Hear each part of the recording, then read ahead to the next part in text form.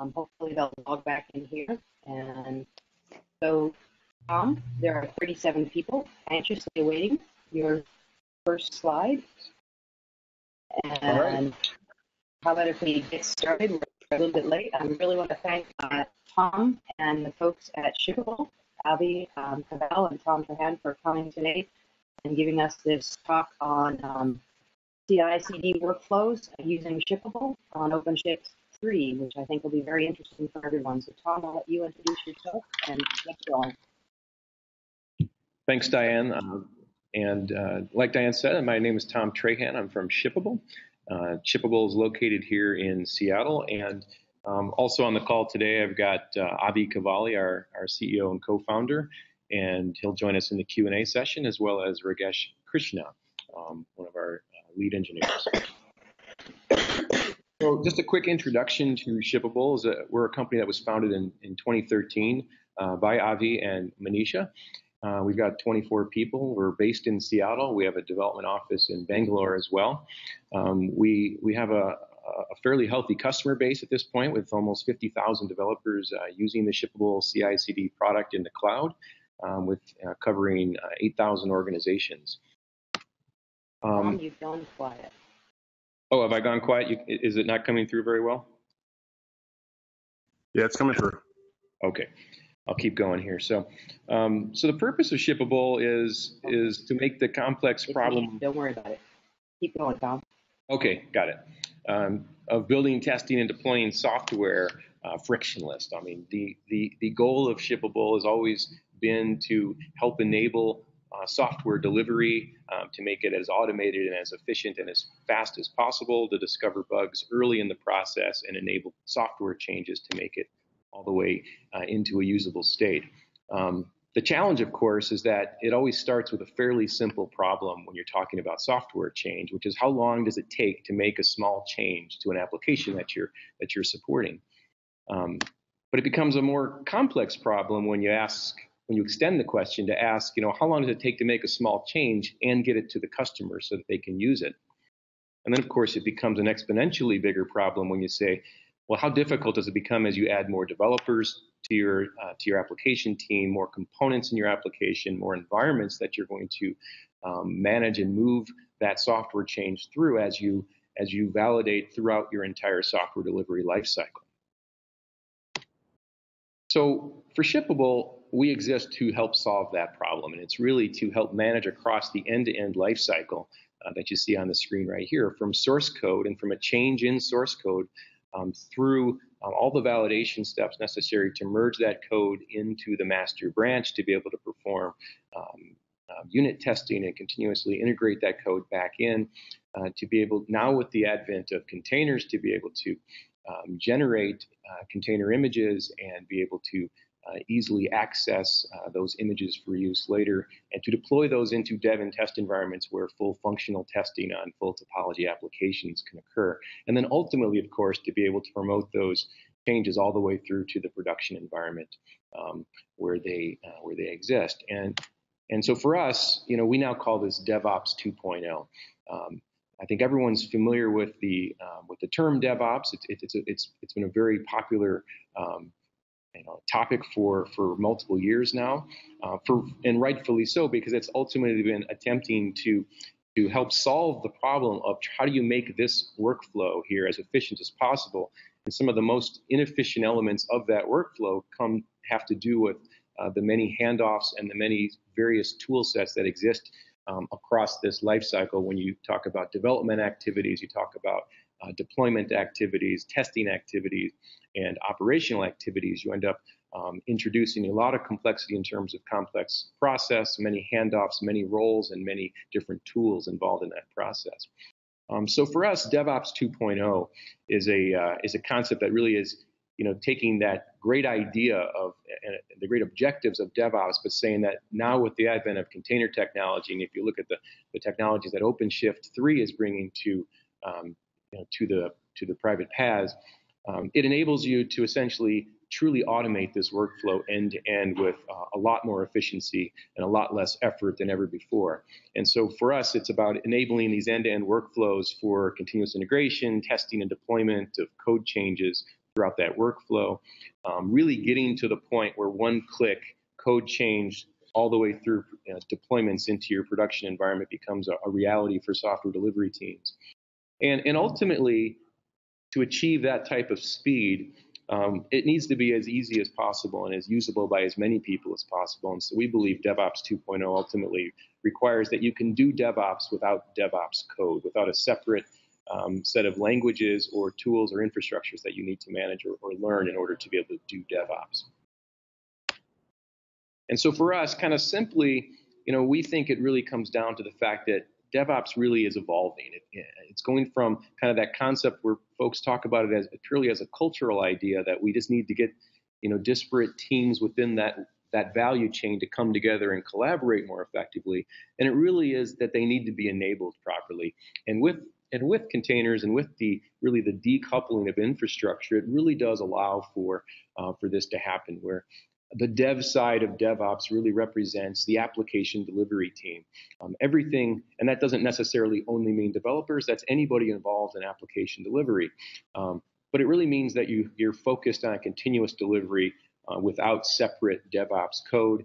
And to do that, you are leveraging smart containerized environments that are aware of changes throughout the lifecycle and are, um, are, and are executing uh, various validation activities and promoting um, throughout the life cycle as long as things are uh, proceeding as planned. And then from an operational standpoint, then uh, the focus really um, you know, separates to talk about managing the decoupled infrastructure. And obviously with OpenShift uh, 3, you've got this, you know, this clear concept um, available in the platform with the Kubernetes layer, uh, abstracting the application layer away from uh, the underlying machine hardware. And so for shippable CI/CD, then our product that runs um, uh, on OpenShift Enterprise 3, it's really uh, we, we think a pretty compelling offering that's going to make setting up these workflows, setting up continuous integration, uh, validation, unit testing, integration back into your source code repo as part of that pipeline, as well as those deployment activities into your your test environments and, and ultimately all the way into your production environments. Uh, very easy to configure and very easy to uh, start. And so for us, it's about you know extending the value of OpenShift with these with these workflows and and various tools that we've developed over uh, multiple years in our CI/CD solution in the cloud, and then um, enabling that anybody who is adopting the OpenShift platform to truly adopt the platform and not maintain a separate set of CI/CD infrastructure tools outside of that platform and, and, and, and need to manage those independently. And, and lastly, as you heard me mention, it really is about being able to do all of that without writing separate DevOps code to manage that. And so, you know, kind of just briefly, some of the details we'll go into and we, and hopefully you'll catch as we run through the demonstration is, you know, Shippable does bring native, native continuous integration uh, to the OpenShift platform. So your CI system, uh, integration of your code, your unit testing, your build processes uh, in order to test and, and, and merge your code back into your, into your master branches and your repositories all happens on the OpenShift platform. Um, you know, the the CI the shippable product you know provides end-to-end traceability and history so that you've got um, full visibility into everything that's happened throughout that pipeline. Um, we make it very easy to set up end-to-end workflow uh, via our UI, and and we have made it so that you can establish environments within your software delivery work pipeline that really match the SDLC that that you currently use and and are are uh, are, are, familiar with. Um, we we try not to be too opinionated here in telling anybody how they should run their IT delivery processes or their software delivery processes, and so we make it so that you can uh, flexibly configure the system um, to to match the way that you work. And then lastly, um, you know, we make it so that the the act of automating that pipeline and essentially um, initiating activities in that pipeline uh, become fully automated or, or, or, or, executed with a single click um, inside the user interface. Um, and then lastly, you heard me talk about the fact that you know when you adopt the OpenShift platform, um, you're doing so to get to eliminate a lot of non-value add activities and to bring more and more of the tools necessary to develop and operate software into a single platform. And we think um, it makes perfect sense that you do the same thing with your CI/CD infrastructure as well, and not maintain a separate one outside the system. So just a quick picture, looks like my builds here are a little off, but just a quick picture then of what the, the, the all-up solution looks like. Um, you heard me talk about that workflow from source code through CI/CD, uh, through image registry, through through the dev and test labs uh, environments, plus the production environments. Uh, this is that flow that gets implemented, and, and, and it is, like as I mentioned, running entirely on the OpenShift platform. This, this, this one-page slide will, will, will be available uh, after the presentation, and it becomes, a, I believe, a, a, a good one-page reference for you as you think about um, how to set up these deployment pipelines and just think about this in terms of the demo that we'll be going through here shortly. Um, so in closing, before we jump into the demonstration, I just want to uh, kind of mention if you're going to wrap it all up into a single summary statement, you know, what shippable CI/CD does um, is bring uh, seamless deployment pipelines, you know, to OpenShift Enterprise 3 without writing any DevOps code. With that, let's head into the demonstration and, and we can kind of see a hands-on view of, of the shippable product uh, running with OpenShift. And so You'll see me bouncing uh, back and forth between a few windows here uh, in the demonstration. Um, what you see here is I've got my OpenShift console running here, and you can see the projects that I've got running out there. Um, this one here we'll be jumping into a little later. Um, it's it's the my OpenShift uh, Enterprise 3 uh, demo project uh, connected and uh, integrated with with Shippable. Uh, we'll also be jumping into a sample application. Um, we're going to walk through the end-to-end flow of what it, what, it, what, it, what it looks like to make a change in software and promote that change all the way through the system. And, and then and we'll be spending some time in the uh, shippable user interface as well. And so when we jump down here, typically when I come into shippable for the first time, I'm going to access it uh, uh, via the authentication of my source code repository. So in this case, I'm going to go ahead and, and, and, join with my GitHub credentials. And I'm taking into um, to the, the main dashboard page here. And you can see here on the main dashboard page that um, the last activity within my organization and all the organizations that I have access to, you know, all appears right here in front of me. And so what you're looking at here is, is a place where you can see the last um, activity related to your continuous integration uh, builds and, and tests. Um, you can also see that you can then quickly access the other elements of the system in terms of that flow. Um, the way we think about it uh, within Shippable is there's the front half of the flow, which is everything around preparing code um, to be deployed. And then there's everything around the act of deploying that code and then operating that code. And so the, the preparation piece um, happens for us on the front half of that workflow within the CI portion. So between source code repository, uh, the CI/CD functionality of Shippable, and the image registries. And then the formation side happens on the back end of that workflow, and that is connecting image registries with your dev and test uh, labs or environments, and, and ultimately your production environments as well. And so, you know, just just to kind of give you a little bit of a sense of where we are right here before we jump into the end-to-end workflow, is I'm, I'm going to narrow this down and look just at my uh, my personal um, GitHub account.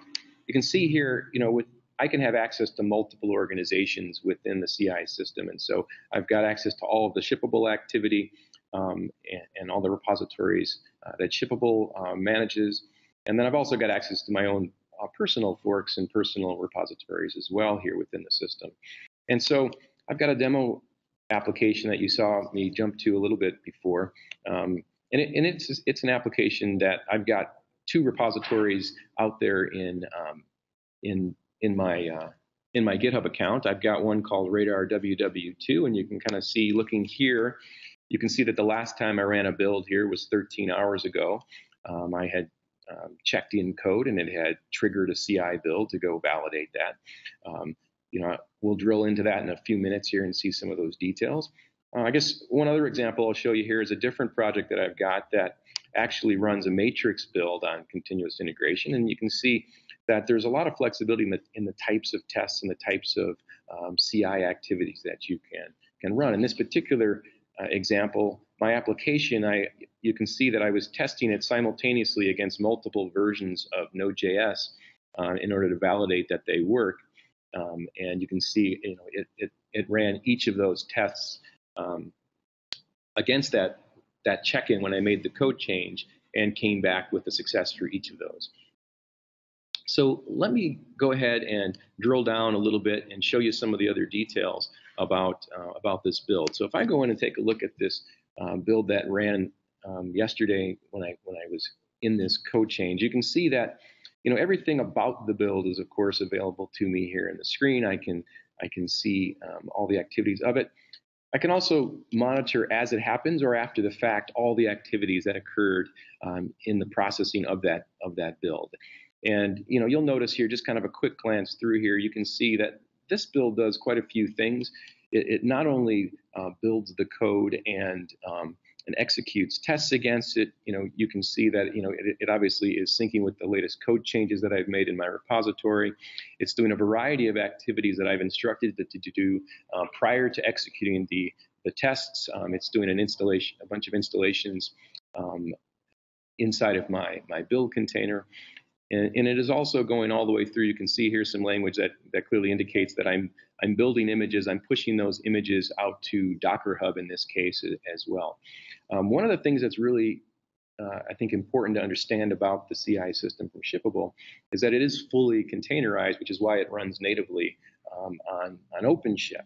Um, every time you initiate a code change in your system, in your repository, commit that change, or anybody in your organization commits a change into that repository that's enabled for CI on the system, uh, it's going to recognize that. It's going to be notified from a, via a webhook from that repo.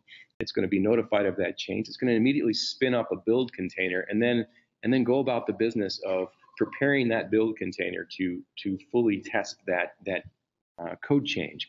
And that's really what you see here is the end result of, of, all those activities that are happening in the background. You can see I can also um, go back in, well, this particular build, I don't have any uh, tests set up, but for, should have picked a different one, but um, I can look at the tests that are executed. And I can see code coverage in there as well, and I can also see the entire actual execution script that's happening behind the scenes um, um for my build container itself. So let's let's actually go back and and uh, and start the process of of looking at a build um, from end to end. We're going to make a code change. We're going to watch that code change kick itself off inside of the, the CI system. We're going to we're going to take a look at what's happening in that in that system as it as it occurs, and then we'll follow that as it, as, as we actually promote that all the way through uh, into deployed environments where in full topology environments where they can be tested as well. And so I'm going to jump back out now to my source code. So here's that application that we were just looking at, uh, the Radar WW2 application. And I'm going to go change, make, make a real simple change on, on the application. If we jump back here, you can see that when I'm in this application, the default repo, this is just a simple uh, demo app that goes out to GitHub and it queries a repo and it brings back a list, a summary list of the issues that are currently um, associated with that repository in GitHub. And so this application currently has the shippable uh, slash support repo as the default uh, repository that's going to pre-populate in this field um, when I run it. But let's say I wanted to change that. You know, so I'm, I'm going to, of course, go out here, change my code. I'm going to save it, and I'm going to commit that code. So there you can see that change I just made. I'm going to go ahead and say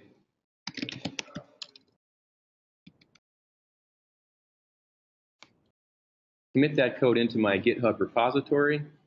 As soon as I sync those and push those out to my repo that is enabled for shippable, actually it beat me to it. It's already triggered the build over here on Shippable's dashboard. Um, and you can see it's getting ready to start processing. And now it's processing. So now I've got a build running on the system uh, based on the fact that I just submitted a change into my into my source code repository. And if I drill into that, you're going to see uh, the, you know, you can watch those details that we just saw in that previous build as they occur inside inside the process. Now, one of the things that you know I'll point out while we're while this is running is is the various options that you do have here to set up inside your repository for your particular project.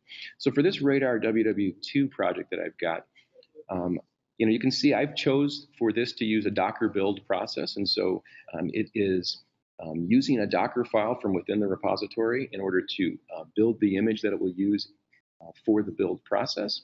Um, I, I, could have also chosen to not use a Docker build file, but instead to use instructions from my shippable YAML file uh, in order to create that.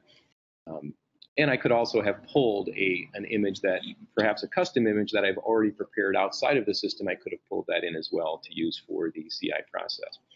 Um, we also have uh, options and, and, functionality here for determining um, how you'd like to use Docker build in that CI process, um, pre-CI and post-CI. And ultimately, the way to think about this is uh, we have uh, quite a few customers who, who tell us they want exactly what they test to be exactly what they promote through their various environments. And so the image that gets built and tested is the image that then gets moved throughout that workflow. Um, we have other customers who have come to us and, and said that they want to be able to execute all of their tests, but before they then create an image to promote through the rest of their environments. They want to be able to extract out all the test artifacts out of the image and make that as lean of an image as possible before they start to promote it through the rest of the process. And that's really the difference between pre-CI and post-CI. Um, oh, the one thing I wanted to show as well, let me jump back out here to my OpenShift console. And assuming that build hasn't completed yet, you can see that has spun up a, a project on OpenShift, and it's now running uh, inside of an OpenShift container um, on the OpenShift pro, uh, uh, platform itself. Um, as you'd expect in any kind of CI system, these are transient workloads, and so it has created this project when the build got initiated, and it will it will spin down and delete all of these artifacts once the build is complete. All the results of the build um, will of course be stored inside the the shippable database, and so the history and the tracking and the traceability to be able to go back and review results and to be able to uh, trace um, any details related to this this particular CI run um, are always going to be available to me. Um, but the artifacts on OpenShift themselves are going to be transient workloads. They're going to spin up and spin down as needed. And of course, um, I've got the ability, in this particular case, I just made a single change to a single repository and it's running a single build. Of course, this will run parallel builds as well and spin those up simultaneously to run at the same time. Let's jump back over here and, and complete taking a look at the options you've got available to you on the CI system.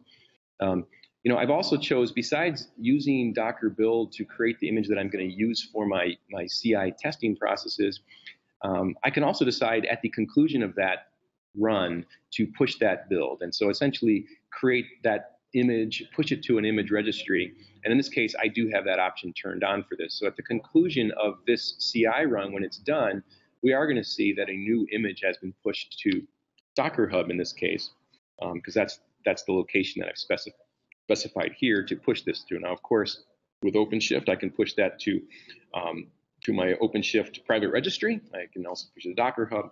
Um, essentially, you can uh, push this to um, any image registry that you'd like to use. Um, the last other option I've got here called Lighthouse uh, is essentially an image watcher. It is, it is essentially letting me sign up and be notified of changes to images that I care about. And those could be images that I create. In this case, I'm actually telling the system that the image that gets produced as a result of this. Tom, this is Diane. Um, you've lost your screen sharing capability. So if you could try and share your screen again. Yes, we all want to watch that transient image on the console disappear. Yeah, let's see here. Okay.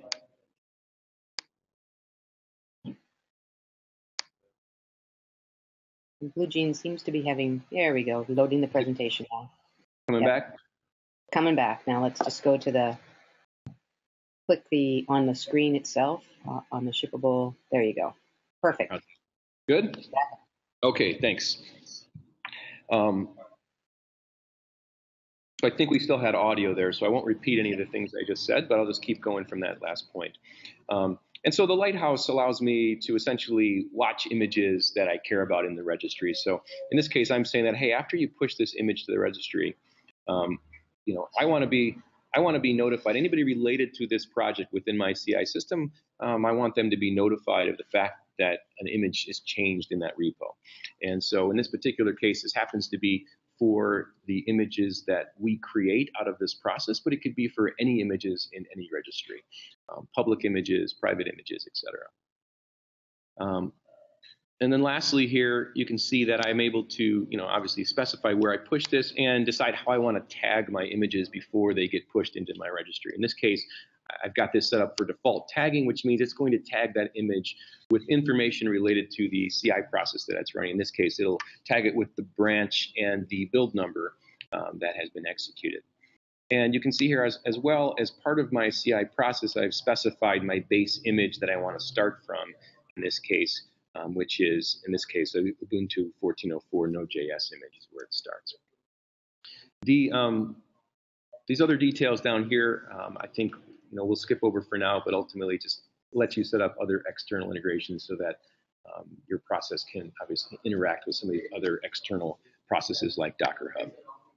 So if we head back over here into the status system, uh, we're going to see, well, first of all, that build has has already um, completed. We can go take a look, you know, at the at the details of this one. We can see, you know, it, it, it took five minutes to run the full end-to-end -end process. We head back over here to OpenShift and refresh this page, like I mentioned before, that build process has now disappeared from the OpenShift system. Um, and if I go drill into that particular run, um, again, just like we saw before, you know, I've got my full history here, and I can obviously expand out and see any of the details necessary about what was happening in that process. And obviously, that becomes, uh, you know, in, you know, much more important as you get um, if you run into any problems in your build, and if there's, a, if there's a failed build in any way, you'll see exactly uh, why that failed. Um, for, I think, I believe, for example, I, I should have some um, failed builds out here as well, and we can go dive into one of those. And, and essentially, troubleshooting where the issues happen become fairly easy because I can see exactly where in the process this build failed. And here I can see I had a uh, an error when it came time to push into the into my registry. And so then I can start my troubleshooting there. And in this particular case, it, it, it was exactly um, the information I needed to go figure out why this wasn't working and then be able to, to make the necessary corrections. And now you can see it, since corrected, it's now been running successful builds ever since.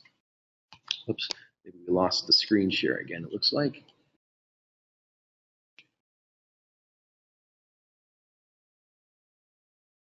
There's one question here, Tom, while oh, you're pausing. Okay. Okay, great. Sorry. Um, well, if it's okay, I'll, I'll finish going through the demonstration, then we'll come back and hit all the questions that have been happening as well, if that's okay. That's fine. Okay, good. So, so a bunch of things have just happened there in that workflow that we talked about before. You saw me make a source code change, push it to my repository. It, it has automatically triggered a build on the system. It has run through all the necessary CI um, activities that I've specified that I want it to occur, and it's completed and it's told me that it's been a successful completion. Now, the next steps in the process are, you know, are obviously that I now want to see, I want to go to that second half of the workflow where I can, I can now do, I, I can now deploy that image off to different environments in order to work with it. So if I jump over here, I can see I've got a formation here set up I've got multiple formations. All the ones that I have access to are here. A formation is essentially a multi-container environment where I can deploy any number of services or pods um, um, out and, and network them together in order to leverage them as full applications and essentially full topology applications in a multi-container environment. And so in this particular formation, you can see, um, you know, you can control access, you know, you can control the, I guess, the resource capacity of, of, of those containers for your teams. And so for this particular uh, formation team, uh, I've got 10 containers available to that team. And within it, you can see uh, some of the key concepts um, that, that, that come to play once you start to uh, deploy your, your applications and these images out into full topology environments. In this case, um, I, I can quickly scan and see what the status is of my of my various services that are running in my applications. I've got I've got multiple environments set up here. So I've got an environment called all-in-one, which if I expand this out, you can see is actually running um, two containers, um, both in the same service. Um, in this case, you can see this app, that demo application I showed you early earlier is a two-tier application. It has a web front end um, which is the repository that we've been working with, and it has a API service on the back end um, that essentially manages all the, the, the page feeds and, and the data. And, and in this particular case, I've deployed those as a single environment running inside, inside of a um, inside of a single service. And, and of course, over on OpenShift, I would see that as a single service with with a, single pod with two with two containers running inside of it. Um, this one over here talks about how many instances of that service I have got running, and this or of those pods I've got running. In this case, I've got one of those running for this particular service. On the this other example that uh, of an environment that I've set up here is my dev environment. In this case, I've deployed each of the components of the application as separate services. If I expand those out, you can see that they both um, um, contain just a single image. My web service contains my Radar WW2 image.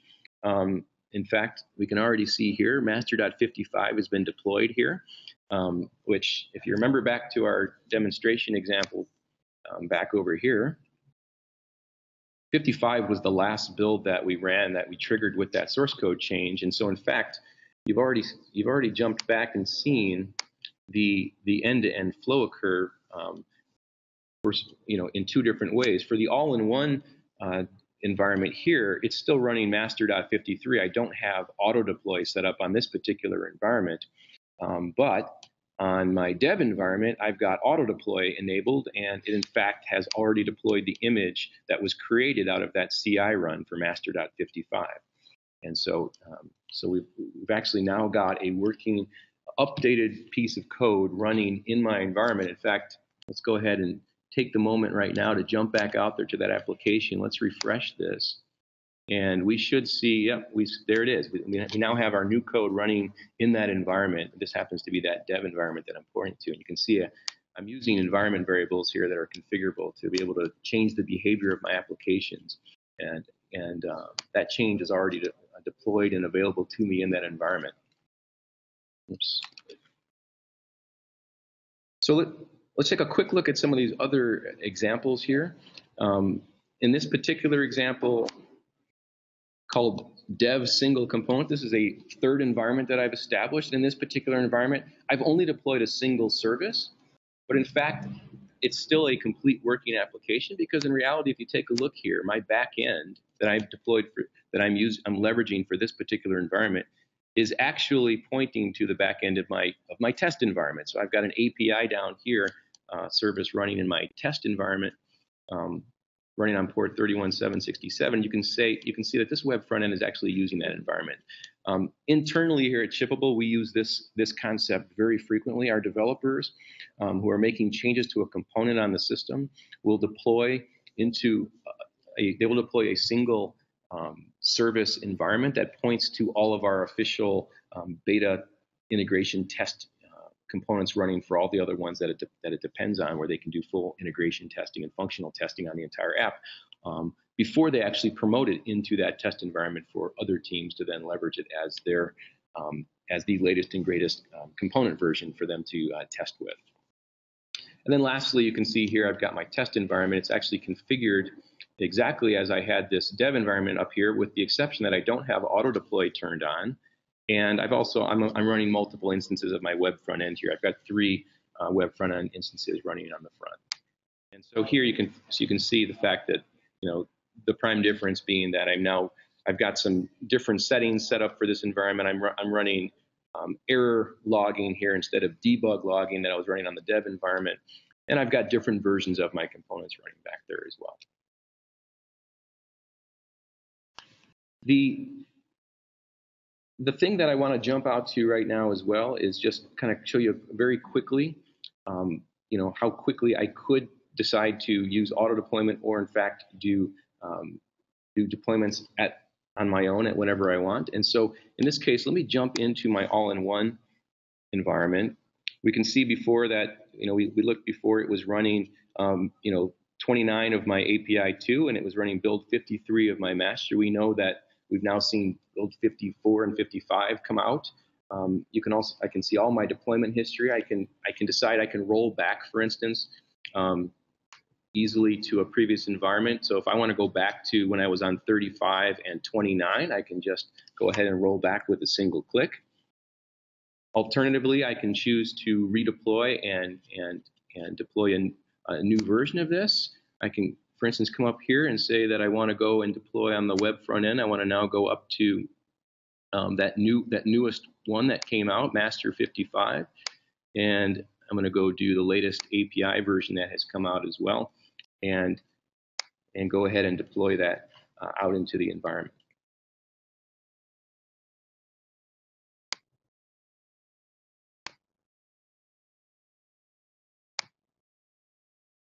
And so, because of course this is a container-based environment, you're going to see those those activities um, change very quickly.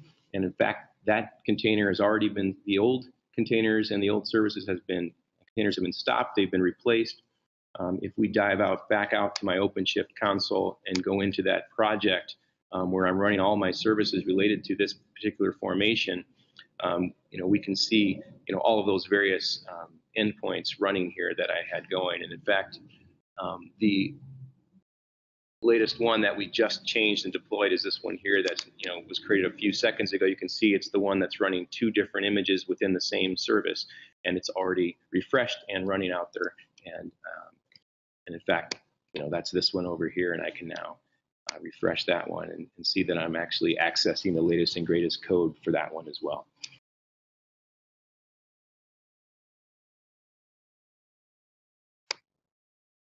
So I want to go ahead here and take a quick break. It looks like there's been um, a lot of good questions coming in on the on the um, on the chat line. So I want to go ahead and open this up for Q&A here for the last 15 minutes and uh, make sure that we can get to everybody's questions. And I'm going to unmute, or Avi, Avi should unmute himself um, as well, if he could. And then Lee Calcote has um, asked a couple of questions, and Avi has answered them uh, in the oh, chat. Oh, but I think okay. they're they're worth asking out loud so that they get recorded, and other people might um, see them if they're not watching the chat. Um, so I'm going to slide back up to his first one. Um, for those organizations working on premise de- with on-premise deployments of GitHub Enterprise, Docker Hub Enterprise, or an OpenShift Enterprise shippable, integrate with non-public cloud-hosted instances. Uh, yeah, I mean, this Avi. So yeah, I mean, we currently, whatever we are showing demo is an actually running service. So it's externally connecting to all the cloud services. Uh, if you if you want to run this on premises completely, we support uh, anything that runs on premises. Uh, the limitation right now is it has to be Git based. Uh, we are working on other types of source control, but predominantly uh, what we see with our customers is they want Git based first. So that's what we support. Uh, we can support any kinds of registries as long as you have creds to connect to it and you have a URL that you can actually access through whatever service that OpenShift is running on, we should be able to connect to that registry and, and manage uh, pretty much on premises. And then the, the other half of Lee Calcote that you answered my question, which was about um, private registries, and I, was pretty sure you had that handled because it was in the slide previously. Um, and let's see the other part of Lee Calcote. In terms of I think the other question was yeah, the other question was if uh, uh, folks are using external integrations to do uh, things like Selenium Grid or external pieces where it's doing scale out testing. Uh, I think Lee was asking whether we support uh, webhooks from our external pieces. So uh, any of the actions, we are completely event based. internally, our system works completely on webhooks uh, internally too. So we can expose those webhooks externally also. And so we can hand the control out to any external service, uh, push a webhook out, and then wait for a webhook back from that system to continue the process. So you can, it's, it's a very flexible system. And uh, just the same way GitHub gives us a webhook and we push information back to GitHub in terms of your build status and all of that stuff.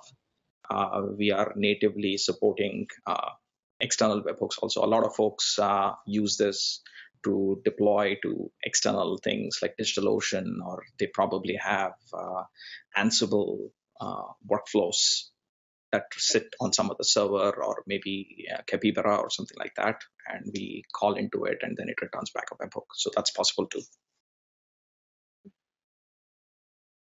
So I'm looking to see if there's any other questions. I think that was the other one was about rollbacks, but that was um, a psychic question because it was just as Tom was about to show how to do rollbacks. So that was great. So the the one other thing I would ask um, you to talk about a little bit is if people wanted to get started um, using Shippable on OS3, where where should they go to get started? What's the best jumping off place? So uh, I think right now, Tom. Sorry. Yeah, go, go ahead. ahead. So, so today we'll, we'll um, in fact, this afternoon we'll be exposing um, the web page that announces the functionality for OpenShift um, and exposes the beta program for it and the contact information for how to get a hold of us and either schedule um, follow-up demonstrations with your team or or to start talking about how to on, uh, come on site and be part of our beta program um, will all be uh, on that page. All right. So um, you'll shoot so us you go to www.ship. Exactly. Yeah, it's www.shippable.com. All right. And you'll, and, uh, find that information on our, our products page. All right. I will um, make sure that that goes out to the Commons mailing list as well, with along with a link to the video. So um, uh, yes, Lee, I agree. This is pretty beautiful. Um, are there any specific integrations with OS3 constructs to be highlighted? Um, CD by district, if you're using OpenShift Online, or I've set it up with districts? Uh, like so I'm not sure what district means. I'm assuming it's uh, some kind of zoning for your uh, application hosts, I think. Uh, anything that OpenShift exposes through APIs, uh, we can expose all of that stuff. So as you were, as Tom was demonstrating, that there is forward sync and reverse sync back from the OpenShift. So all the projects, any changes you make on the OpenShift UI will get reflected on Shippable uh, shippable, you make changes to it, it will get reflected on the OpenShift. So if you have districts which are basically labels, you are absolutely, it's all of those are definitely possible. All right, then I'm looking to see if there are other questions. If not, that's about a great length for someone to have to watch this video in the future. And I'm sure we'll do another one um, once the beta is done and um, get some more feedback from folks. If people have feedback for Tom and Avi and the shippable folks, um, please do hit them up. If you want to throw a slide up here now with um, your contact information or maybe even your email or whatever. I think you had one there. There's Avi at Shippable. You guys have the easiest email addresses, Avi at Shippable and Tom at Shippable. Um, yep pretty quick and dirty to, to get there. So um, very impressive. Uh, I really, really love to see stuff that I don't have to do any scripting for. So I can imagine a few people are going, I love my scripts. Um, so we'll, we'll see how we can work with them as well. And I think that was a great presentation. So thank you very much, both both of you guys, for coming on board and um, being part of the Commons. Thank you, Diane. Cool. Thank you very much, Diane. Thank you, everybody. Take care.